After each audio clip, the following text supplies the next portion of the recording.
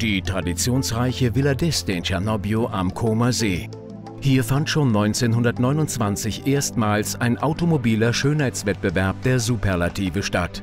Der Concorso d'Eleganza Villa d'Este.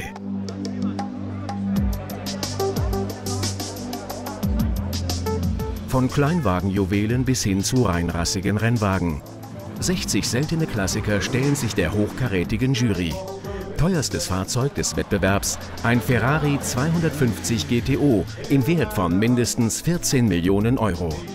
Der Schaulauf der Automobilikonen bietet eine ideale Bühne für aktuelle Designstudien und Prototypen wie das BMW Sagato Coupé.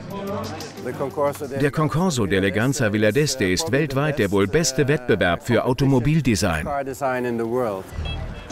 Dieses Unikat auf der Basis des Z4 ist das erste Gemeinschaftsprojekt zwischen BMW und dem Karosseriespezialisten von Sagato.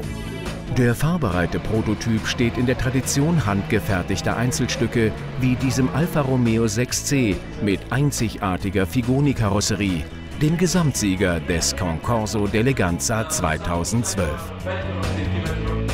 Zweirädrige Raritäten findet man in der Villa Erba, dem Schauplatz des zweiten Tages des Concorso d'Eleganza. Jedermann ist willkommen. Hier genießt das Publikum eine feine Mischung aus Exoten und Ikonen.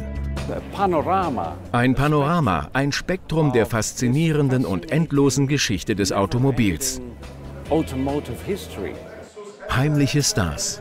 Der sensationelle Rounddoor Rolls-Royce und der BMW Turbo, vor exakt 40 Jahren das erste Konzeptcar aus dem Hause BMW. Ganz gleich aus welcher Epoche. Beim Concorso d'Eleganza Villa d'Este heißt es, Automobilgeschichte mit allen Sinnen zu genießen.